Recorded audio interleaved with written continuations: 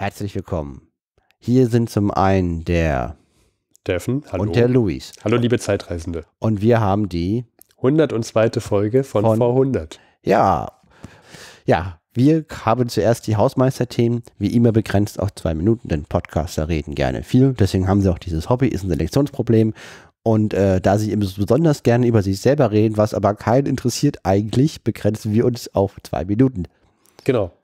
Danach haben wir verschiedene Ereignisse für euch parat gelegt, unter anderem auch äh, die, äh, schweifen wir ab in die Welt der Zahlen, sprechen über den Völkerbund, über die Neuordnung der Weltkugel und haben auch Werbung für euch von vor 100 Jahren. Wir haben alles. Wir haben Werbung, wir haben einen Wirtschaftsteil, Verfall der Währung, wir haben einen politischen Teil mit den Volksabstimmungen im Rahmen des Versailler Vertrags, Mhm. einen mannigfaltigen Blumenstrauß von Themen. Und Warte. Harry Graf Kessler wartet. Die alte Eule, es gibt sie noch. Und äh, wer wissen möchte, was er in den letzten zwei Monaten so getrieben hat, der kann äh, warten und das hören. Genau. Gehen wir mal gleich zu den Hausmeisterthemen. Luis, ich starte die Eieruhr. Wir haben ja schon mal erzählt, wir machen jetzt vor 100 weiter. Wir machen aber halb so viele Folgen. Ansonsten ähnliches Konzept. Also wir machen im Frühjahr eine Staffel mit fünf Folgen monatlich, immer zum 15. Also 15. Januar bis zum 15. Mai. Eine Monat Pause. Dann nochmal fünf Folgen. Genau. Und ich möchte an dieser Stelle sagen, ich halte nicht die vor 100 Eieruhr in meinen Händen, denn, und ich habe es Luis auch noch nicht gesagt, aber ich werde es an dieser Stelle tun. Liebe Zeitreisende, lieber Luis, halte dich fest, sie ist kaputt. Nein! Keine Eieruhr. Ja, äh, dafür habe ich hier eine digitale Eieruhr. Die ist ähm, nicht, nicht halb so genau wie diese Eieruhr von dem 1-Euro-Shop bei dir hier um die Ecke. Dafür kann sie noch viele, viele andere schöne Dinge außer Eieruhr sein. Ja. Ja, dann waren wir in den letzten zwei Monaten fleißig am Arbeiten, am Werkeln, am Schrauben, am Löten, am Haare kämmen, am Haare wachsen lassen und wir waren auf dem Histocamp. Genau. Ähm, war interessant. Wir waren mit Ulrike da von, von Exponiert, äh, dem Museumspodcast aus Berlin, beziehungsweise macht sie auch bei, mit bei Staatsbürgerkunde. Und fairerweise mit 200 anderen Teilnehmern. Ja, ja, wir waren da nicht nur alleine, genau. Wobei, also wenn wir drei ein Camp machen würden, das hätte auch schon eine Berechtigung. Ähm, und es war sehr interessant, das war hier in Berlin. Ja, was soll man sagen? Wir haben beide eine große Tüte mit ganz vielen tollen Büchern bekommen, denen ich immer noch, Genau. die lese ich immer noch ab. Ich habe sieben Bücher oder so mit nach Hause genommen, das ist immer sau viel im Histocamp. Ich habe eins gewonnen. Der Steffen hat sogar eins gewonnen beim Histo-Bingo. Ja, Und äh, wir haben uns einfach super gut unterhalten, weil wir kommen aus unserer Blase raus. Wir eher so IT-Ecke Mhm. und da sind Geisteswissenschaftler. Und wir haben auch gemerkt, Geisteswissenschaftler ticken anders, komplett anders, würde ich sagen. aber cool. Ja, kann man so sagen. Also ich fand, kann, es- kann man auch sagen. also ich gehe da immer gerne hin. Wir haben sogar eine Session gegeben, und zwar wie man äh, Tagebücher im Podcast äh, darstellen kann. ja. Sie war sehr beliebt, unsere Session. Ja, ich glaube, also es waren zwei Hände voll Personen da. Ja, aber jetzt kommt ja die, ich hasse diese Arbeit. Das war, wir haben viel, viel Feedback bekommen, von, unter anderem von einem Filmemacher und wir haben uns lange über ausgetauscht, was man denn mit historischen Tagebüchern alles so machen kann, auch außerhalb vom Podcasten. Und ich würde sagen, dass die Eieruhr hat getickt. Es ist vorbei, zwei Minuten. Und wir kommen zu den Ereignissen aus der Zeit von vor 100 Jahren. Seid gespannt. Ähm, das ist die letzte Folge zum Jahr 1919. Wir haben Weihnachten, wir haben den Jahreswechsel. Und äh, um unsere Ereignisse einzuleiten, möchte ich euch berühmte Gestalten aus dem Jahr 1919 aufzählen. Wobei hier zu erwähnen sind, das sind Gestalten aus einer Karikatur. Also das ist jetzt Ironie. Genau, du hast so ein kleines, ein kleines Zettelchen vor dir mit Karikaturen, die du gefunden hast. Und da sind kleine Zeichentrick-Karikaturen von Gestalten, wichtige, berühmte Gestalten aus dem Jahre 1919. Die Zeichnungen könnt ihr jetzt natürlich nicht sehen, aber Luis, was ist da so abgebildet? Der Mann, der nicht einmal gestreikt hat. Ja. Die Familie, die niemals etwas gehamstert hat. Die Frau, die im Jahr 1919 eine Wohnung gefunden hat. Ja, äh, also Wohnungssituation auch vor 100 Jahren miserabel. Meine, also offensichtlich passiert das so selten, dass man damit berühmt ist. ja. Ne? Stell dir vor, du bist berühmt, weil du nie gehamstert hast. ja. Oder weil du eine Wohnung gefunden hast. Der stärkste Mann, der beim Empfang seines Steuerzettels keinen Tobsuchtanfall bekam. Okay. Das scheint ein massives Problem gewesen zu sein. Ja. Und die nächste Karikatur ist, was bringt uns das Jahr 1920? Ja. Was bringt uns denn das Jahr 1920? Ganz sicher den Auszug der Zwangsmieter. Ganz sicher eine Polizeistunde. Ganz sicher eine neue Mode. Ganz sicher einen neuen Stern am Verfilmament. Film. Filmament, Film. Also eine neue, neue Filmdiva. Hm. Ja. Ja. kann ich, also da würde ich jetzt mal sagen, kann ich mir vorstellen, dass das 1920 auf uns zukommt. Der vor 100 Podcast wird berichten. Und das Wichtigste, vielleicht auch den Abbau der Preise. Steht da auch als Karikatur? Ja.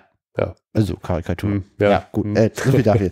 Und Weihnachten, Steffen. Ja, Wie wurde denn 1919 Weihnachten gefeiert? ja, stell dir vor, auch vor 100 Jahren wurde Weihnachten gefeiert, Luis. Ist äh, Wahnsinn, ne? Und 1919 ist, ist äh, sehr speziell, denn 1919 ist das erste Weihnachten im Frieden. Jetzt könnte man ja sagen, oder du könntest auch sagen, aber Steffen, 1918 war doch schon Krieg vorbei. Das muss doch auch schon Frieden gewesen sein. Sagt er nicht, okay. Ja, aber doch, das ist wohl wahr. Ähm, und der- Grund ist allerdings, dass 1918 redet man von der sogenannten Blutweihnacht. Äh, wir erinnern uns, der vor 100 Podcast berichtete, es gab massive Aufstände zur Weihnachtszeit 1918. Maschinengewehre konnten gehört werden. Und jetzt ist aber 1919 das nicht mehr so. Es gibt tatsächlich Zeitungsartikel, die sich darum drehen, was denn die Hausfrau kocht und zubereiten wird zu Weihnacht. Und es gibt keine Maschinengewehre mehr, die auf den Straßen rattern. Vielleicht dazu ein Kommentar aus der Zeitschrift Die Woche. Ja, Aber unter diesem Baum liegen wieder, wenn auch spählich, Honigkuchen und Nüsse, Äpfel und Schokolade. Die Stolle aus weißem Mehl hat wieder Rosinen. Und hier und da wird selbst auf bescheidener Tafel die alte Weihnachtsgans nicht fehlen. Die fürsorgliche Hausfrau hat sie der Keulen beraubt, die eingepökelt für Neujahr aufgespart werden. ja. Also Weihnachten dreht sich wieder um das, worum es wirklich geht, um die Weihnachtsgans. Jedenfalls, da, da geht der Trend nach oben. Ja. Der vor 100 Podcast findet das gut. Ja, ist doch auch mal wieder ein schönes Ereignis, dass nach fünf Weihnachten es endlich mal wieder ein Friedensweihnacht, eine Friedensweihnacht gibt. Vielleicht das letzte, letzte Satz aus dem Artikel zum Weihnachten 1919 aus der Zeitung Die Woche. Und das ist vielleicht das Schönste an diesem Weihnachten. Es wird in Deutschland wieder gearbeitet. Vernunft scheint eingekehrt, wo Wahnsinn so lange selbstmorderisch wütete. Und das ist, finde ich, ein schönes Schlusswort zum Thema Weihnachten 1919. Hm, Lass uns vielleicht noch auf einen zurückgehen, auf einen Artikel, auf ein Thema. Geld. Geld. Das Geld. ist ja auch wichtig zu Weihnachten. Ja, genau. Was braucht man zu Weihnachten? Geld. Also Liebe, Ach so, Familie, ach so ja, natürlich. Geborgenheit, Das auch. Zusammensein. Äh, Essen hatten wir gerade, Weihnachtsgans. natürlich ist äh, Geld für den Kauf der Gans auch nicht Hm. schlecht. Und da erleben die, die ehemaligen Mittelmächte, besonders Deutschland, einen massiven Preisverfall. Was schätzt du, ähm, wenn vor dem Krieg man ungefähr so 4 Mark irgendwas für einen US-Dollar bezahlt hat?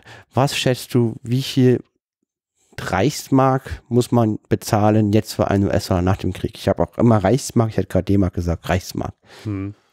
Ähm, also du redest von der Inflationszeit seit Kriegsausbruch bis jetzt. Genau, weil ich habe Ähm. den Krieg verloren, man hat, äh, man hat natürlich Schulden zu bezahlen. Also die Spekulation ist die, dass jetzt der Dollar im Verhältnis zur Hm. Reichsmark, vorher war es, sagen wir mal, 1 zu 5.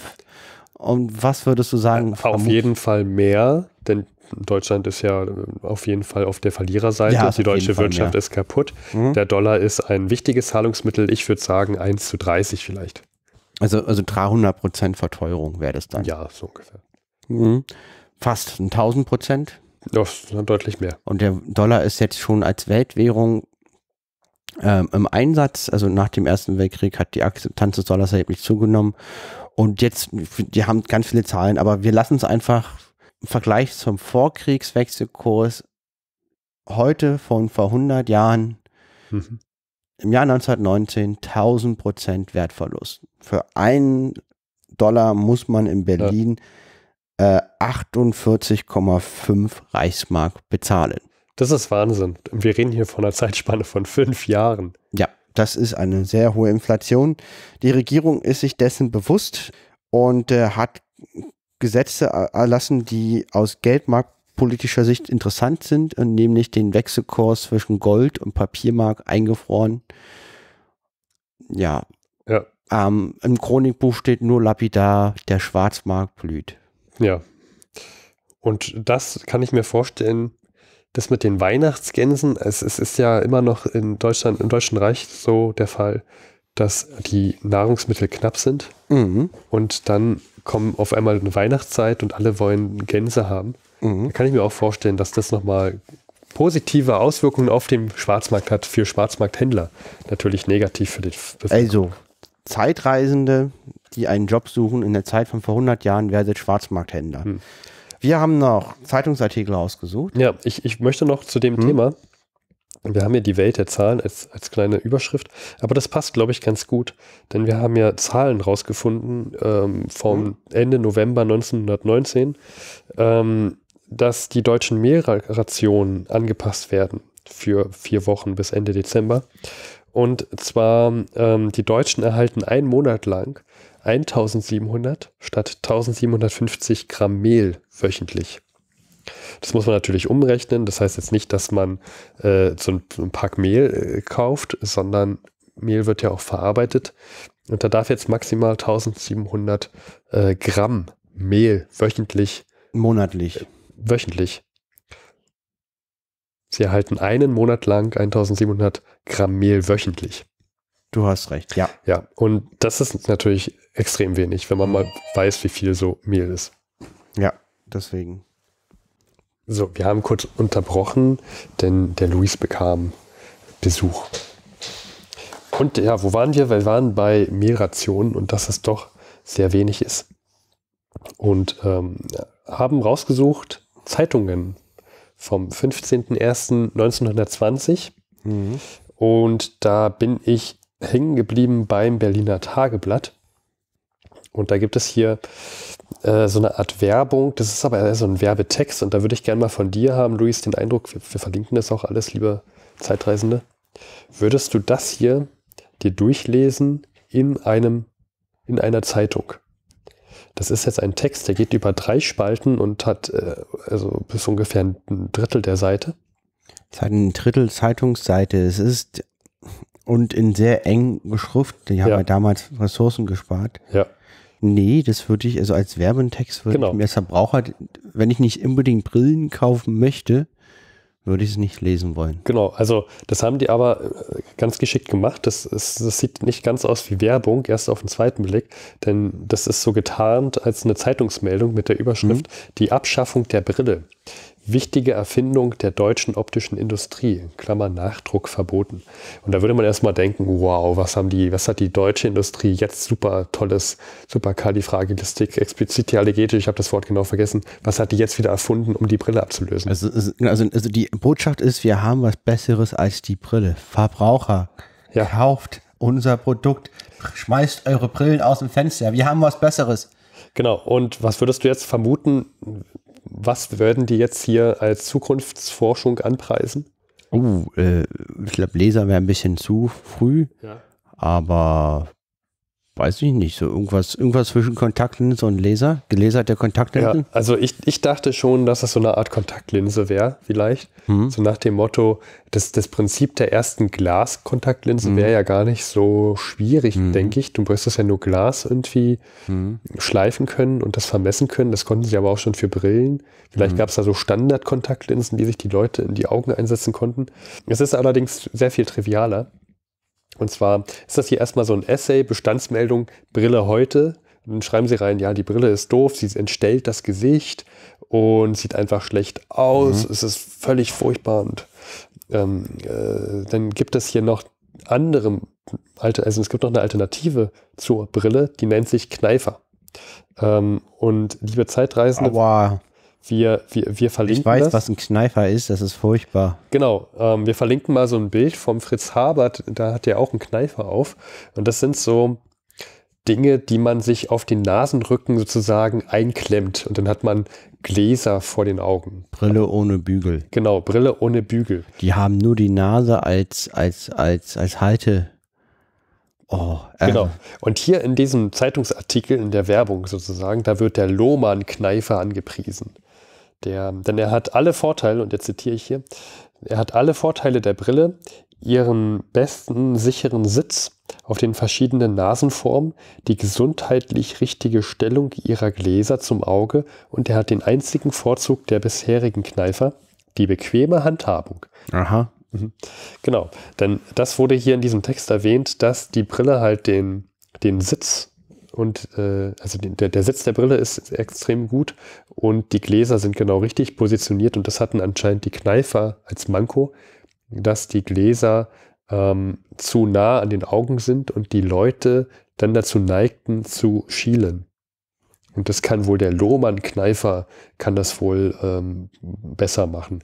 Wir haben leider keinen Nachdruck gefunden. Wollen ich fand aber interessant, dass vor 100 Jahren so ein hässlicher Kneifer als die Innovation überhaupt angesehen wurde.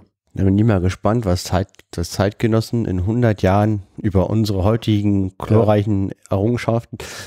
Ja, genau. Und kommen wir mal zur weiteren Werbung, nämlich auf derselben Seite finden wir hier noch eine Werbung. Äh, Gesundheit und Wohlbefinden sind zu, zu erreichen und aufrechtzuerhalten durch die ständige Behandlung mit dem vielfach anerkannten Wohlmutschen elektrogalvanischen Apparat, Marke Gevico. Tausende von Anerkennungen, Druckschriften durch G. Wohlmut und Co. in Dresden A12. Also da wird ein Apparat angepriesen, der... Ähm, du hattest es mir mal auf Ebay gezeigt. Genau, ich habe hier auch noch einen Link. Können wir gerne noch mit draufstellen. Ähm, das ist halt die Frage, wie lange der noch aktuell sein wird. Aber da auf Ebay wird auch ein äh, galvanischer Elektroapparat verkauft. Das Für ist 230 Euro von genau, 1910. Genau, das ist nicht derselbe, klar, äh, der gleiche. Ähm, aber da sind auf jeden Fall Bilder von so einem Ding und die haben sich wohl, ähm, also die sind wohl relativ ähnlich im Aufbau.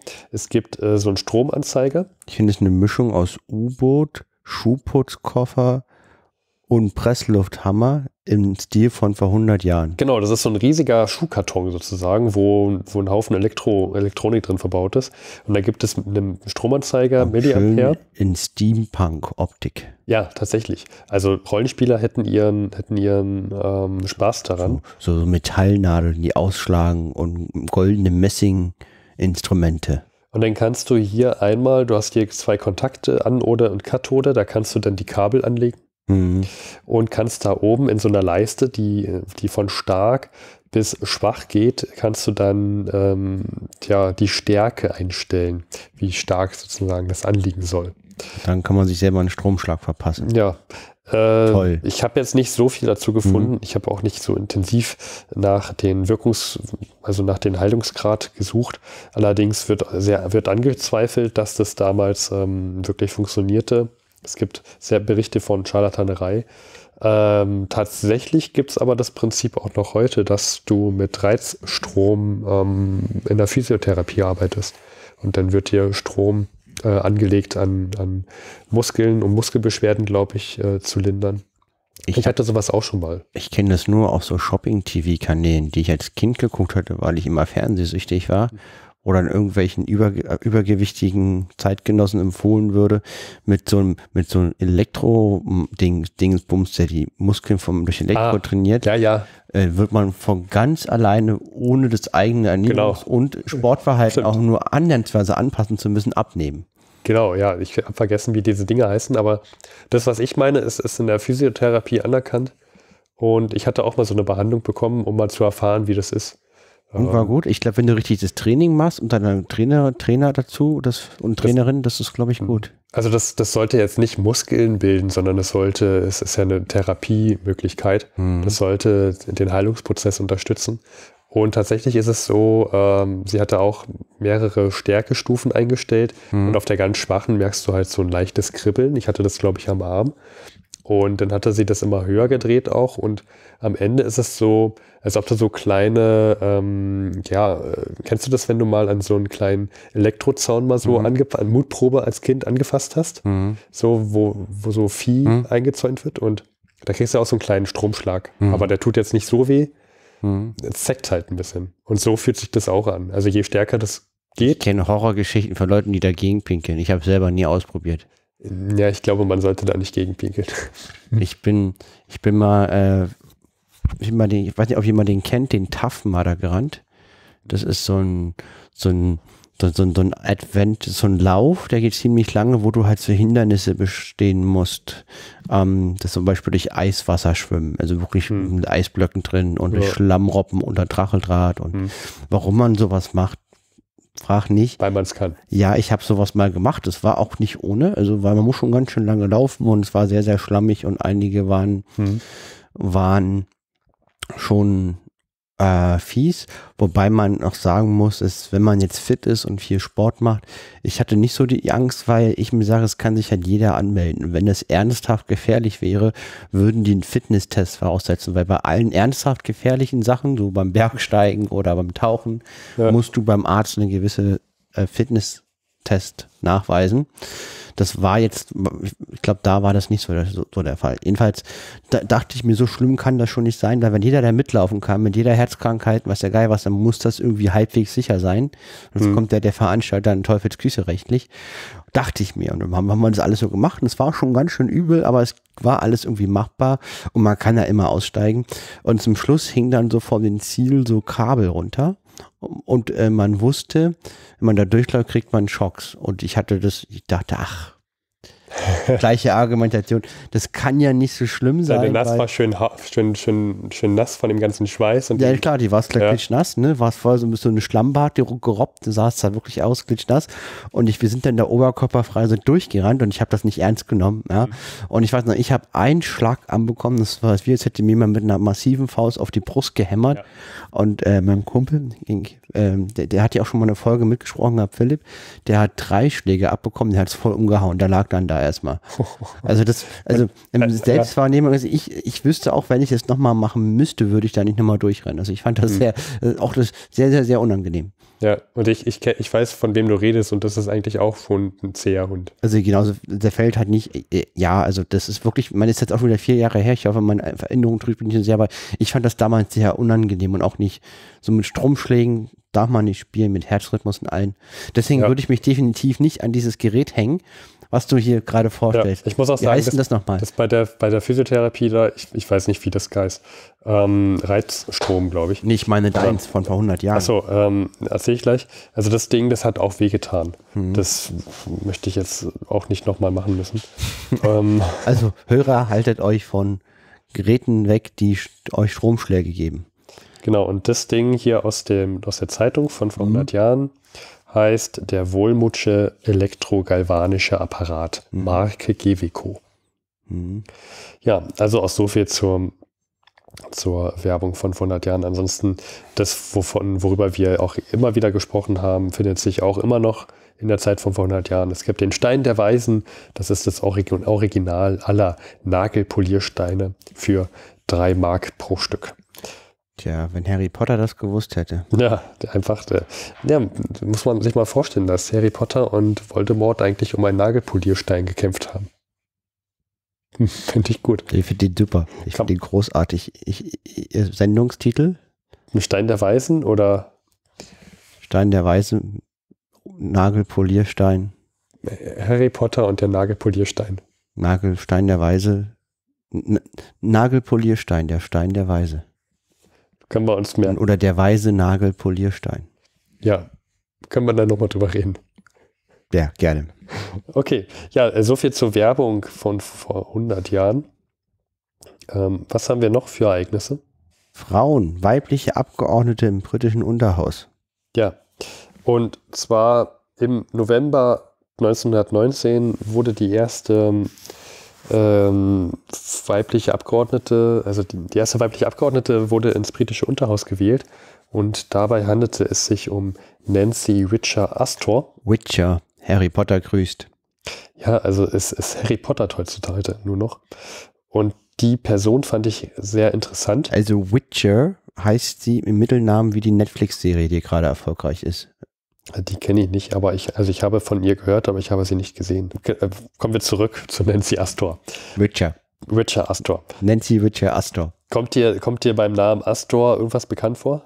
Ja, ein Hotel heißt auch so, eine Kette. Genau, und die war auch tatsächlich verlobt und verheiratet mit dem Briten Waldorf Astor. Wie, also wenn man Brite ist und Waldorf Astor heißt, das ist ja, also mehr, mehr es geht ja nicht britischer. Ja, äh, Waldorf Astor. Und mit dem hatte sie auch einige Kinder und der ähm, zog ins britische Haus of Lords ein und musste seinen Sitz abgeben. Und für die Nachwahl wurde dann die Frau, ähm, seine Frau Nancy als Kandidatin aufgestellt. Und sie wurde tatsächlich dann auch gewählt am 15. November 1919. Und wenn ich dir jetzt sage, Luis. Dass der Name toll ist, Nee. man einen Raum betritt und sagt, mein Name ist Nancy Witcher Astor. Mein Mann ist Waldorf Astor, für sie aber Nancy, finde ich das immer noch sehr lustig. Das wollte ich dir jetzt nicht sagen, aber es ist in Wirklichkeit gar nicht die erste Frau im, äh, im Unterhaus. Da fällt dir jetzt der Kneifer vom, vom Nasenrücken. Ja, Tatsächlich gibt es eine Frau, die vor ihr schon gewählt war. kann ich sehen, mein Kneifer ist weg. Ja, ist auf deinem Nasenrücken. Vorher gab es schon eine andere Frau, die im Unterhaus war, nämlich die Constance Georgine Markiewicz. Countess Markiewicz. Sagt die dir was? Nö. Jetzt fragst du dich vielleicht, aber warum, warum wird denn die Nancy Witcher Astor als erste Frau im Unterhaus beziffert, wenn doch eigentlich die Constance Georgine Markiewicz die erste ist?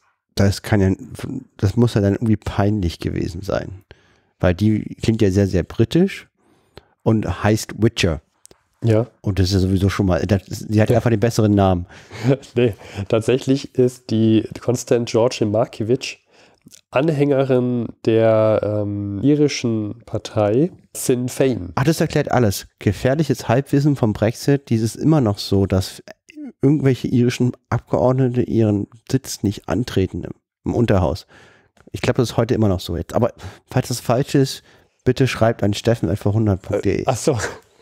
Ich habe das aber nicht aufgestellt. Ich kann es aber auch nicht widerlegen. Es kann sein. Aber damals war es so tatsächlich, dass sie, dass sie den, den, die, also das nicht antrat, das Amt. Und äh, das lag unter anderem mit den Osteraufständen, über die wir berichtet hatten. Und, und natürlich kann man jetzt eine weibliche Abgeordnete, die den Sitz nicht antritt, nicht als erste Abgeordnete feiern. Und vor allen Dingen, wenn es auch noch, wenn sie auch noch aus Irland kommt. Also Oh ja. das geht ja aber gar nicht. Ganz, ganz, ganz gefährlich. Da war ja Miss Witcher Waldorf eigentlich Nancy für ihre Freunde viel, viel besser. Aber es war ist Witcher Astor und der Mann heißt Waldorf Astor. Genau, und ich möchte noch kurz was über die Markiewicz erzählen. Mhm. Die hat am Osteraufstand von 1916 mit teilgenommen, auch die berichtete. Deutschen supportet haben. Genau. Und der war sehr blutig. Viele wurden festgenommen, viele Iren auch, Mhm. auf, der, auf der irischen Seite, von der britischen Regierung und zu Tode verurteilt und sie auch. Und jetzt äh, muss ich dir aber sagen, dass die Todesstrafe bei ihr nicht ausgeübt wurde, sondern Musste sie nach Azkaban. Nein, das nicht. Ähm, sie ist auch nicht aus, sie ist auch nicht aus Azkaban ausgebrochen. Sie hat die Strafe, die Strafe wurde umgewandelt in lebenslange Mhm, Haft und okay. irgendwann gab es eine Generalamnestie 1917. Und das Interessante, worauf ich jetzt hinaus will, Mhm. ist, dass viele Frauen zu Tode verurteilt wurden bei den Osteraufständen. Ähm, dass es aber bei den Frauen im Gegensatz zu den Männern nicht ausgeübt wurde. Interessant. Ja, das wusste ich noch gar nicht. Das habe ich jetzt erst äh, vor, vorhin gelernt. Ähm, und so entkam sie also der Todesstrafe und konnte dann auch ähm, später diese, die ins Unterhaus gewählt werden. Äh, und ja, ist dann aber nicht, hat das, ist das aber nicht angetreten. Von ihr gibt es allerdings nur diese Zeichnung hier.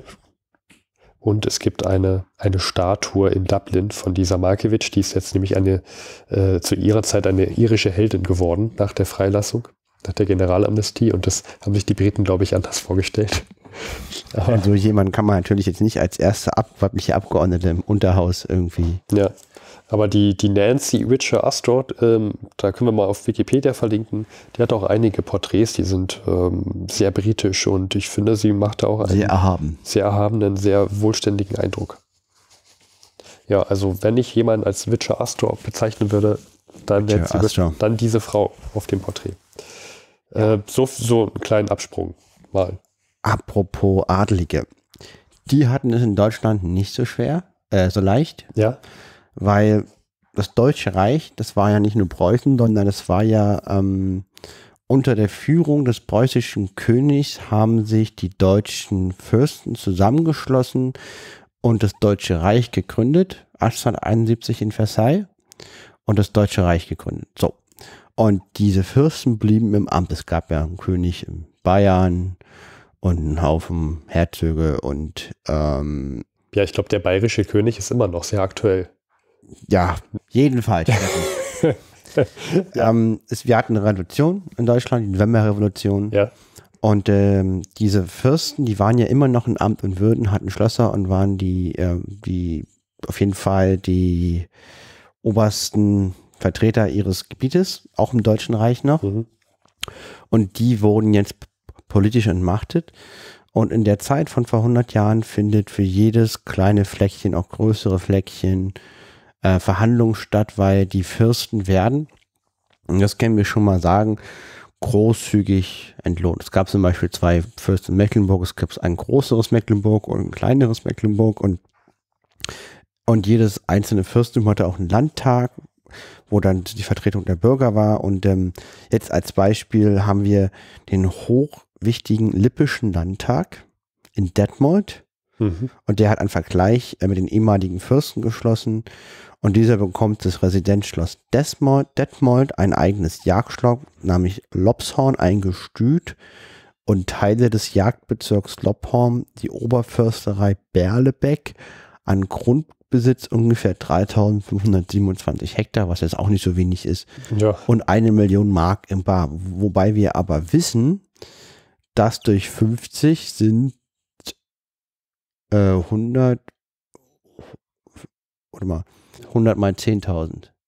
Also sind eine Million 20.000 Dollar. Pum. Das passt auch. so. Und das, also es sind 25.000 Dollar bei einer Million. Also das heißt, der hat diese 3.500 Hektar, zwei Schlösser, eine Försterei und zusätzlich noch Fonds bekommen. Und so sieht es überall aus. Überall aus. Das heißt, materiell sind die ehemaligen Fürstenfamilien reichlich entlohnt worden. Hm. Sie sind politisch bedeutungslos. Darauf wollte ich hinaus. Ja, ich würde aber meinen, wenn du so viel Grundbesitz hast und auch noch Fonds und Bargeld, dann hast du wahrscheinlich immer noch deutlich gut, also gut mitzureden. Ja.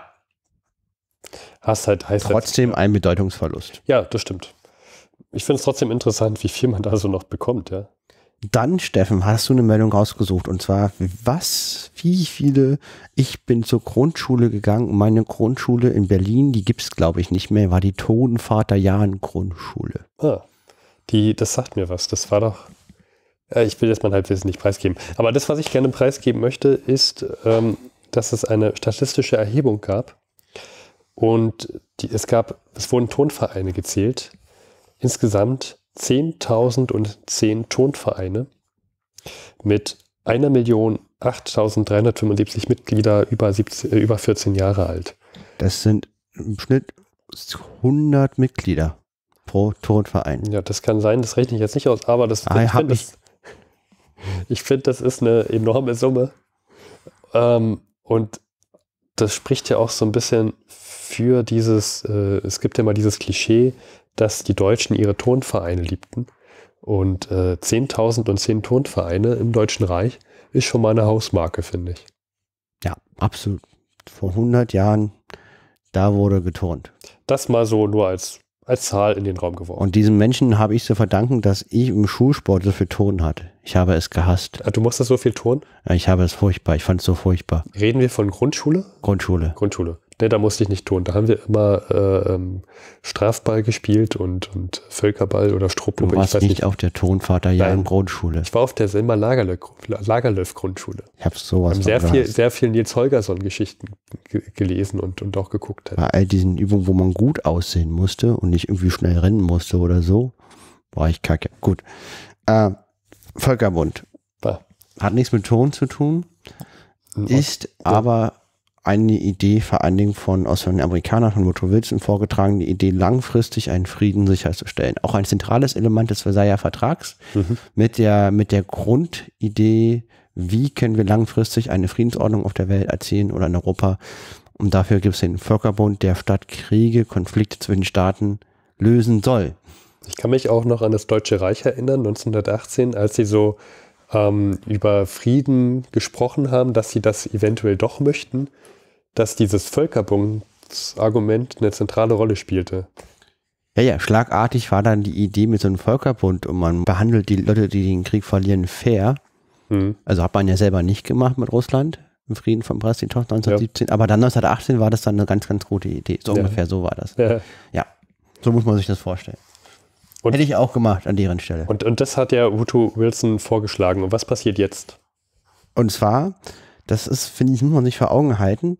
Jetzt treten eigentlich die meisten Länder, grob vereinfacht gesagt, diesen Völkerbund bei, der auch in der Schweiz äh, lokalisiert ist. Wer fehlt? Das sind natürlich, also was heißt natürlich, aber doch irgendwie nachvollziehbar die Kriegsverlierer, die sind noch nicht Mitglied, was aber eigentlich auch ein Fehler darstellt. Mhm. Und die USA. Wer hätte das gedacht? Also diejenigen, die das vorschlagen, fehlen. Ja, es ist ja auch dann, die USA ist ja auch so ein ganz kleines Land und äh, wenn denn, denn jetzt die USA nicht Mitglied vom Völkerbund sind, das hat natürlich überhaupt keine äh, äh, Auswirkungen auf deren Machtposition und auf deren Wichtigkeit, wenn die USA fehlen, so ein kleines, unbedeutendes Land. Ja, es gab halt ein also Woodrow Wilson, der wollte den.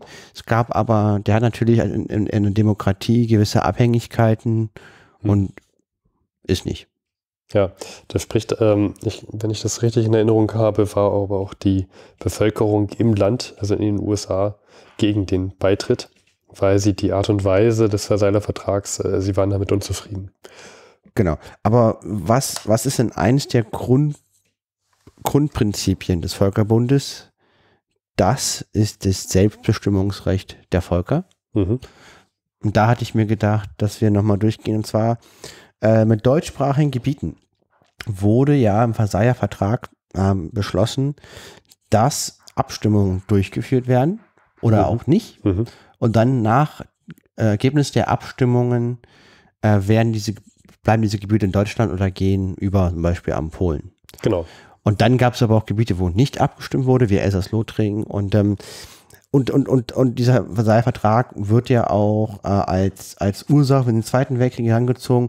Und gerade aus rechten Kreisen wird es auch sehr, sehr politisiert, das Ergebnis. Und da finde ich mal interessant, dass wir mal die Gebiete, über die abgestimmt wurde, mal durchgingen, das Abstimmen äh, Ergebnis und was dann passiert ist, dass man einfach mal Fakten hat. Also Mhm. ich fand das interessant, weil mein Bauchgefühl hat sich nicht überdeckt mit dem, was damals passiert ist. Äh, wie meinst du das, dein Bauchgefühl? Na, ich hätte wirklich gedacht, dass, dass, dass, die Ergebnisse wesentlich schlechter umgesetzt wurden, als das passiert ist. Okay. Ich hatte mal gedacht, dass das ziemlich unfair wäre. Also, dass sozusagen auf den Willen, gerade wenn es darum ging, ob man in Deutschland bleiben will, nicht sehr viel Rücksicht genommen wurde. Ach Das so. war wirklich mein Bauchgefühl. Da hat irgendwie eine gewisse Form von Propaganda bei mir funktioniert. Ah, okay, interessant. Na, dann, dann schlag doch mal vor, was ich sehe gerade, Schleswig ist bei dir aufgeschlagen. Genau, es gab mehrere Gebiete, in denen abgestimmt wurde. Schleswig, Oberschlesien, Ost- und Westpreußen, Saargebiet äh, und dann Abtretungen ohne Abstimmung, Westpreußen, Posen, was in Belgien, Elsass-Lothringen und dann noch Deutsch-Österreich. So. Wir gehen mal durch, wo abgestimmt wurde. Es war einmal Schleswig. Ja, Das ist sozusagen ne, Schleswig-Holstein, der nördliche Teil von Schleswig-Holstein. im, im noch. Norden so, ja. Hm? Und da, und da, und da gab es zwei Zonen. Einmal Nordschleswig. Das, äh, das kam zum Deutschen Reich nach dem Krieg unter Bismarck gegen Dänemark. Da stimmten 75 Prozent der Bevölkerung für Dänemark und 25 Prozent gegen Deutschland. Also ging es an Dänemark. Finde ich jetzt aber nicht komplett unfair. Ist okay. Ja, ist eine erhebliche Mehrheit, finde ich. Genau. Und für Mittelschleswig, das was immer noch äh, heute auch noch zu Deutschland gehört, waren 80 Prozent für Deutschland und das blieb im Deutschen Reich, obwohl es da auch eine dänische Minderheit gibt, Hm. auch noch heute. Ich war mal an Ja. der Grenze im Urlaub, die reden noch Dänisch, obwohl es Deutsche sind. Hm.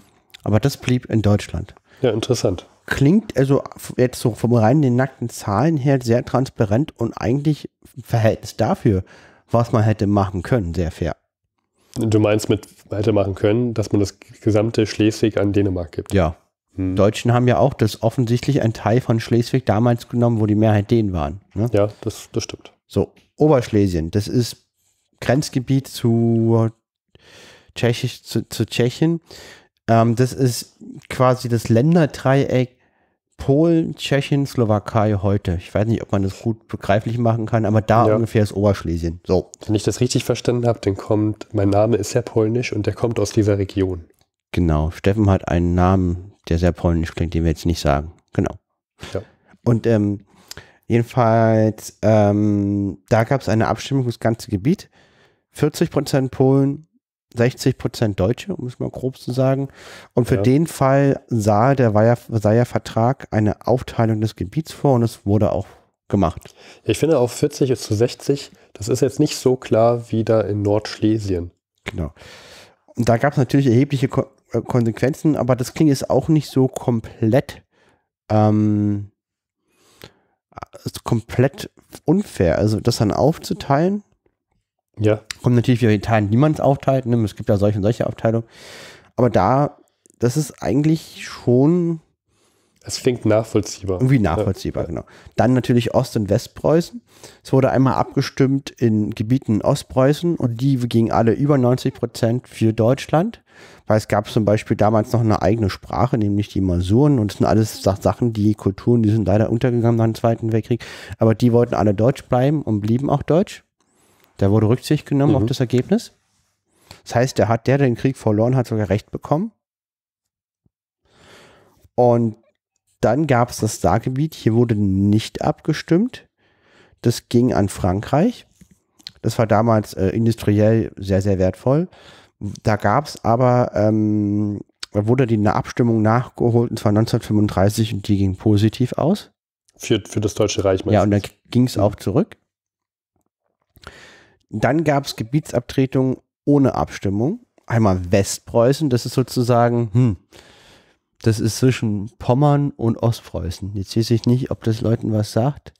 Jedenfalls, das ist an der polnischen Ostseeküste äh, das Gebiet um Danzig. Da, wo Danzig Dan ist. Danzig sagt, sagt glaube ich, vielen Da, wo Danzig ist und ins Land rein. So. Und ähm, da war sozusagen die Mehrheit Polen. Gab es natürlich eine deutsche Minderheit, da die Mehrheit war in Polen. Das ging an Polen. Danzig selber war deutsch und das blieb als un- unabhängige Stadt. Mhm. Äh, als wurde sozusagen direkt vom Völkerbund verwaltet und wurde unabhängig. Wurde aber aus Deutschland rausgelöst. Spielt dann auch nochmal später in den 30er Jahren eine wichtige Rolle. Mhm. Genau. Und ähm, es gab, und dann Posen wurde abgetreten, das ist halt so ein mittelpolnisches Gebiet. Da gab es doch sehr, sehr viele Deutsche. Ähm, und zwar 38,5 Prozent Deutsche. Also da waren 60-40 Verhältnis. Das ging ohne Abstimmung an Polen. Da hätte man wenigstens abstimmen sollen, aus meiner Sicht. Dann gab es noch Gebiete in, in Belgien. Das waren kleinere Dörfer, 10.000 Einwohner, die gingen an Belgien ohne Abstimmung. Das gab aber eine umstrittene Umfrage, wo angeblich die Belgier bevorzugt wurden. Mhm. Aber die, wenn man, ich war da auch mal, ich bin auch da Ja. mal gewandert zu Fuß und die, die Deutschen, die haben einen sehr starken Schutz in Belgien und die gibt es da immer noch und Interessant. auch ein anderes, anderes Thema, aber jetzt passt hier nicht rein. Und Elsass-Lothringen wurde ohne Abstimmung abgetreten, weil, Ja, zentrale Klausel der Richtig. Franzosen. Wobei ähm, meine Gef Quellen sagen, die Mehrheit der dortigen Bevölkerung fand sich aber sehr an Frankreich verbunden. Also Ja. genau. Und was ich auch spannend fand, ist, dass das Deutsch-Österreich, also der deutschsprachige Teil Österreich-Ungarns, der wollte unbedingt zum deutschen ähm, Reich beitreten. Also sie haben sich als Bestandteil der Deutschen Republik gesehen. Und zwar noch vor die Republik in Deutschland ausgerufen wurde. Also noch bevor der Ja, am Reichstag der Ausruf kam, hat Deutsch-Österreich gesagt, wir sind Teil der Deutschen Republik. Und die Alliierten haben aber eine Vereinigung untersagt. Das wollten die halt verhindern, damit halt dieses Deutschland nicht zu mächtig ist. genau. Ja, diese, diese große Angst, dass das Deutsche Reich zu groß wird. Ja. wurde ja nach dem Zweiten Weltkrieg auch nochmal klargestellt, dass es gut ist, wenn die Länder sich nicht vereinigen. Ja. ja. Ähm, wo du so gerade über Gebiete sprichst und so weiter, ich habe hier auch noch eine Meldung. Ich hoffe, das konnte, den konnte man jetzt auch so halbwegs folgen. Ich weiß nicht. Also es ist natürlich jetzt ohne Karte das alles so, diese Gebiete. Ja. Äh, ich denke, die, ich denke, dass sich unsere Zeitreisende, also die sind fähig, Notfalls muss man sich so. nochmal so eine, so eine, es gibt ja immer beim Vertrag dann so Überblickskarten, wo dann so, so man sieht, welche Gebiete verloren gehen und da kann man das dann halt gucken. Aber also, also da ist dann sozusagen auch dieser rechte Dogma, dass das so ein Gewaltfriede ist. Ähm, ich finde so mit den Reparationen und dieser wirtschaftlichen Gängelung, das sind Aspekte, wo das vielleicht eher zutrifft als bei den Gebietsabtretungen, mhm. weil wurde schon viel abgestimmt und auf die Abstimmungen auch Rücksicht genommen. Und die Gebiete, die abgedreht wurden, waren jetzt nicht Gebiete, wo 90 Prozent Deutsche voten, wo es auf jeden Fall kritisch, also mindestens streitbar war, wer jetzt da war, wo wohnt. Hm.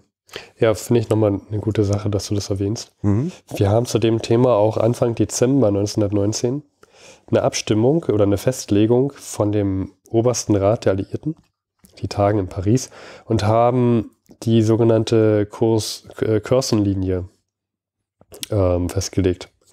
Ähm, Curzon ist ein, ist der, ist der britische, ähm, ist ein britischer Politiker und die legt fest die Ostgrenze von Polen. Und äh, die habe ich vor allem auch rausgesucht, weil sie auch bis Przemyśl geht, diese Linie. Äh, wir erinnern uns ja, Przemyśl haben wir, ich glaube, in der zweiten und ersten Staffel von vor 100 sehr, sehr oft erwähnt. Das war ein stark umkämpfter Ort an der Ostfront. Und mhm.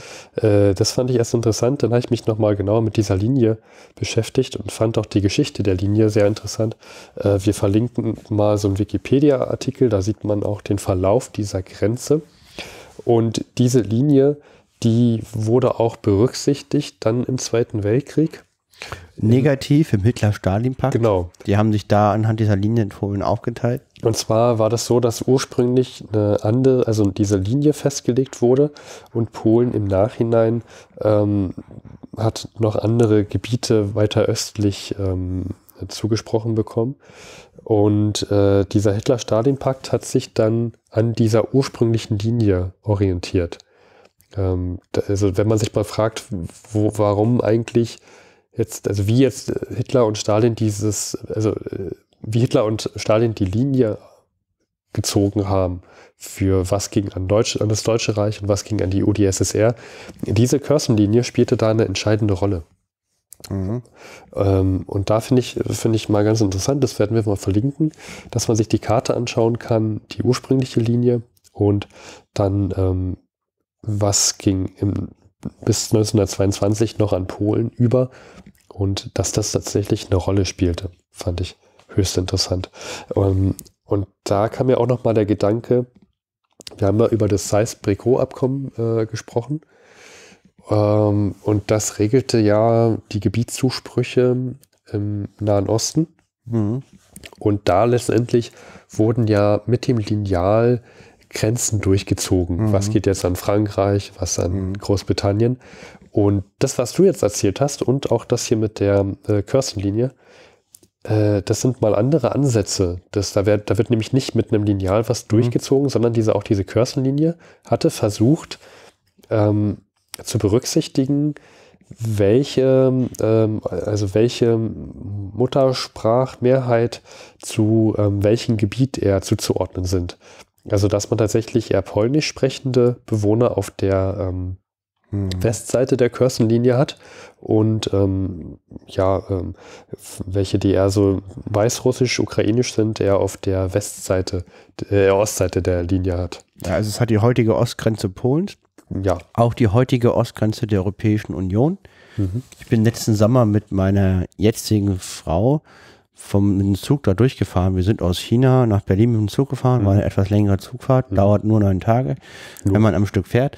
Und jedenfalls, und, und da ist ja alles dazwischen. Unter anderem muss man dann auch mit dem Zug aus Russland an dieser Kirstenlinie, über die wir sprechen, halt die Europäische Union betreten. Mhm.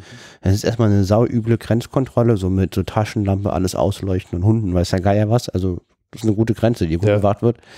Und ähm, alles wird nochmal ähm, äh, um, umges umgespurt, ne, weil die ja Russen und die Deutschen andere Umspurungen haben.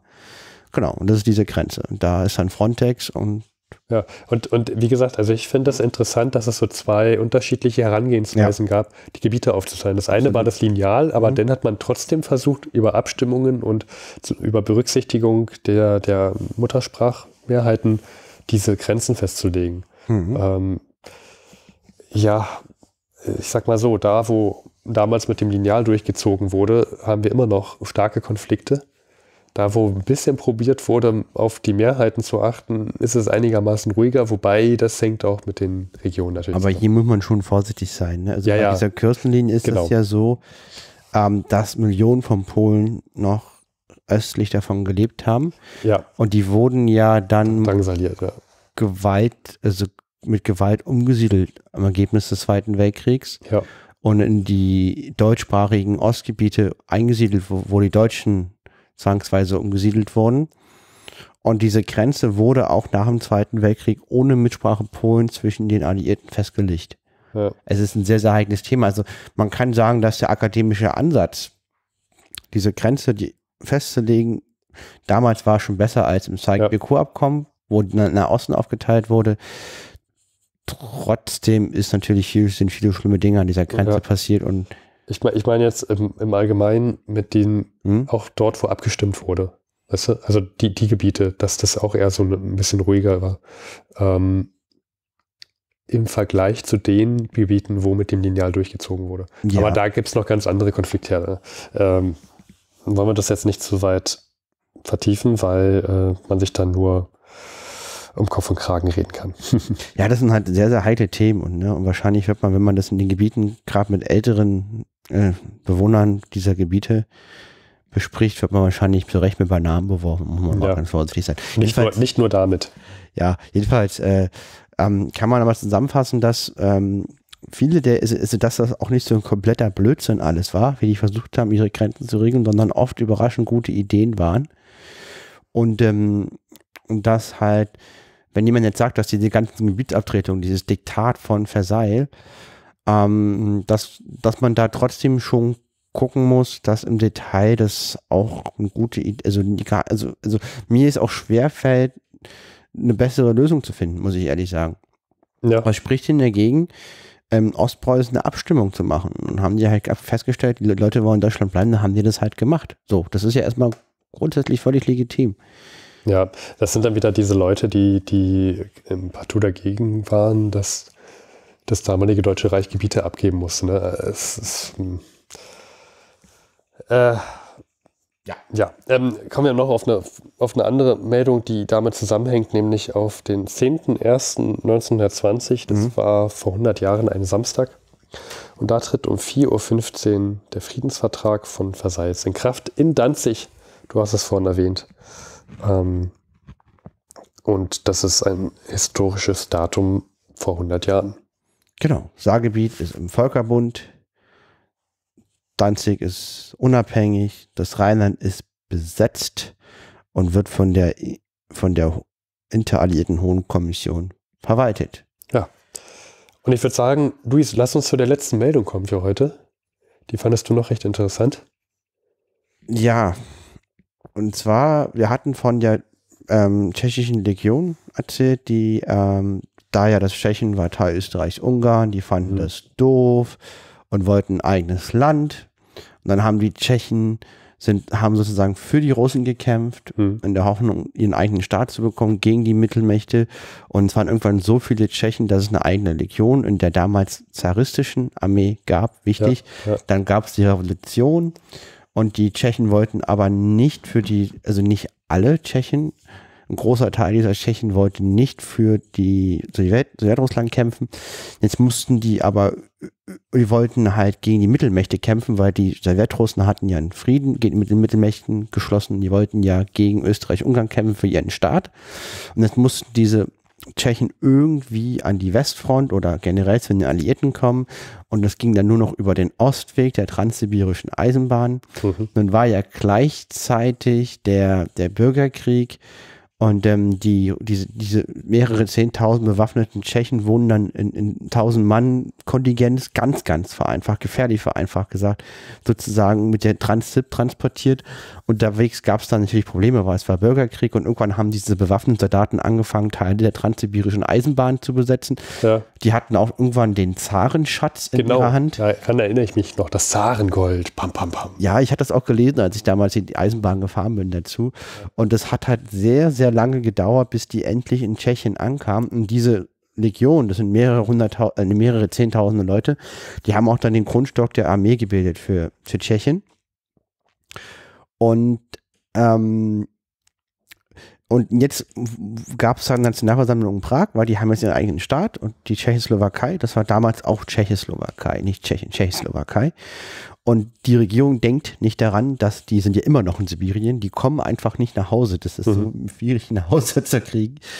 Die denkt nicht daran, die noch in Sibirien befindlichen 50.000 tschechoslowakischen Legionäre gegen Sowjetrussland kämpfen zu lassen. Nein, die wollen diese unbedingt so schnell wie möglich über Vladivostok nach Hause weil man muss sehen, in Russland ist jetzt ein schwerer Bürgerkrieg, es sind britische, französische Truppen in Russland im Einsatz, weißrussische Truppen und eben auch noch mitten in Sibirien diese gestrandeten Legionäre, die alle da Krieg führen, der auch furchtbar ist und Millionen von Todesopfern kostet.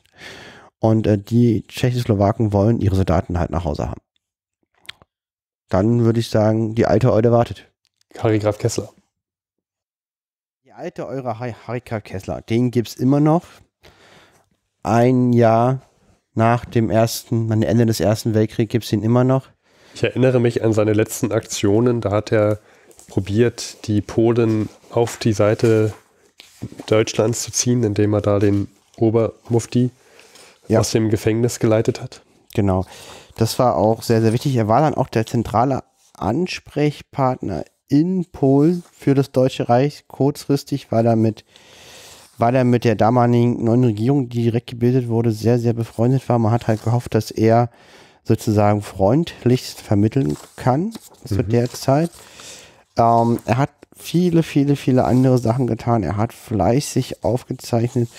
Ich möchte aber ausdrücklich nur auf die letzten zwei Monate zur letzten Folge eingehen, auf sein Leben. Ähm, weil ich finde es eigentlich mal ganz spannend, sich wirklich nur darauf zu konzentrieren, Ja. auf diesen Ausschnitt. Wir sind ja auch ein tagesaktueller Podcast von Richtig. vor 100 Jahren. Ähm, was er gemacht hat, er war, das sind zwar zwei Monate seines Lebens, er war den Dezember über in Berlin. Ja. Ja. Hat auf Weihnachten gefeuert, äh, hat aber über die Feiertage keinerlei Einträge verführt, Hm. weil private Sachen sind bei ihm ja immer abwesend. Also Ja, dafür hat er wahrscheinlich sein anderes Tagebuch, was, nicht, er- nicht für die was ihn Öffentlichkeit. emotional beschäftigt oder so. Das ist ja, ist ja doch, genau, das sind ja gedacht für seine Memoiren sehr, sehr politische Schriften. Und wir haben ja auch festgestellt, dass wenn er dann mal gedanklich, philosophisch abschweift, dass es dann eher langweilig ist. Was hier also was ich nochmal, was ich, was, was ich äh, sehr interessant finde, ist ähm, sein Eintrag vom 10. Januar 1920. Zitat. Heute ist der Friede in Paris ratifiziert worden. Der Krieg ist zu Ende. Eine furchtbare Zeit beginnt für Europa. Ein Vorgewitter, Schwüle, die in einer wahrscheinlich noch furchtbareren Explosion als der Weltkrieg enden wird. Bei uns sind alle Anzeichen für ein fortgesetztes Anwachsen des Nationalismus. Klingt sehr glorreich. Also man merkt, die Glaskugel ist gut geölt bei ihm. Ja, es geht wieder los. Es kesselt wieder. Der Kessler, genau. Also, der, also er sagt halt, der Nationalismus wird wieder zunehmen und was ich interessant finde, eine noch furchtbareren Explosion als der Weltkrieg hier wird hier rauskommen. Ich meine, Was schreibt er hier? Eine er sagt es halt. Es ist natürlich diese Aussage, wenn man jetzt gerade so einen Krieg hat, dass irgendwann mal ein schlimmerer Krieg kommt als der, Ja, als akademischer Satz. Aber also da kann man auch sehr viel reininterpretieren. Ne? Das, ist, das ist trotzdem noch recht schwammig formuliert. Wir mit unserem Wissen von heute gehen da sofort auf den Zweiten Weltkrieg ein. Aber ich kenne keinen, der solche Sätze 1920 so geschrieben hat. Ja, Also ich habe es nicht gemacht, ich glaube du auch nicht. Hm, Nee, ich habe es von der Zeitmaschine, ich habe es aber nicht gemacht. Ja, also von daher ist das schon ziemlich gut, deswegen lesen wir ihn ja auch. Das finde ich immer einfach toll, wie, was er so, wie, wie er das so sieht.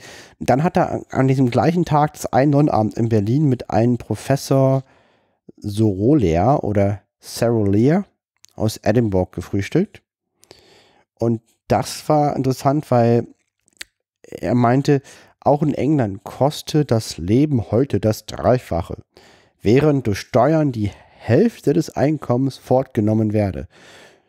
So habe er, Sarah nochmal ein Professor, also der ist sicherlich nicht arm, 3000 Pfund Einkommen, zahle 1500 Pfund Steuern und könne sich für die ihm verbliebenen 1500 Pfund nur so viel kaufen und sich leisten wie vor dem Kriege für 500, sodass er tatsächlich statt 3000 Pfund vor dem Kriege nur noch 500 Pfund habe.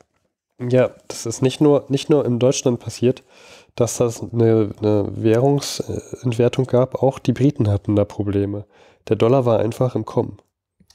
Dann ist er Entschuldige, ich, ich Gerne, wir haben, wir haben ja noch die, das Chronikbuch und da wird gesagt, dass ähm, dort ebenfalls der Kurs ähm, sich um 810 Prozent verschlechtert hat im Vergleich zum Vorkrieg.